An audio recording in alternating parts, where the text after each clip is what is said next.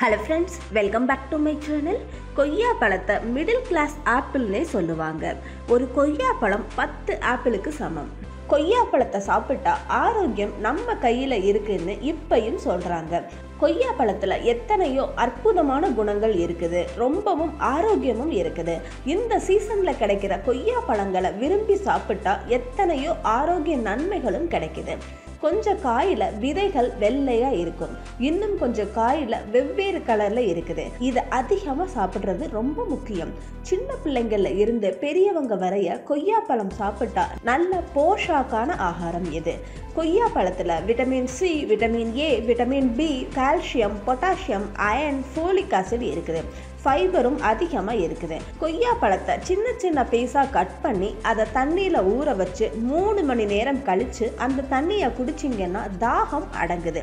இப்போ இருக்கிற வாழ்க்கை முறையில் ஆகார பதார்த்தம் சரியாக இல்லாட்டி மலச்சிக்கல் பிரச்சனை வருது.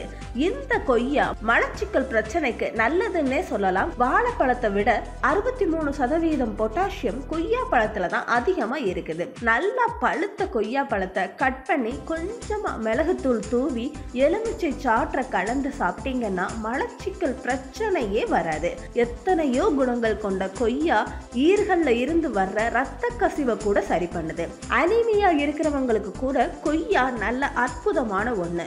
கொய்யா பழத்தில் விட்டமின் சி அதிகமா இருக்குது. இதனால வைரஸ் காரணமா வர்ற ஜலதோஷம் குறைஞ்சு போகுது. உடல் எடை குறைக்கிறதுக்கு கொய்யா ஒரு அற்புதம். கொய்யா பழத்தை சாப்பிட்டா வயிறு நிறைஞ்ச மாதிரி இருக்குது. அதனால சாப்பாடு குறைவாக எடுத்துக்கிடுவோம். கொய்யால கொழுப்பு பதார்த்தம் குறைவாக இருக்குது. அதனால் கலோரிஸ் அதிகமாகுது. அதனால் உடல் எடை முற்றிலுமாக குறையுது. கொய்யா பழத்தில் விட்டமின் ஏ அதிகமாக இருக்கிறதால கண் பிரச்சனையே இருக்காது.